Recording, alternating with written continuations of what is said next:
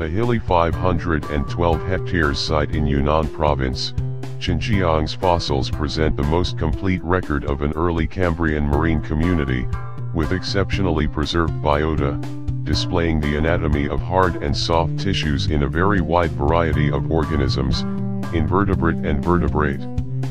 They record the early establishment of a complex marine ecosystem. The site documents at least 16 phyla, and a variety of enigmatic groups as well as about 196 species, presenting exceptional testimony to the rapid diversification of life on Earth 530 million years ago, when almost all of today's major animal groups emerged. It opens a paleobiological window of great significance to scholarship.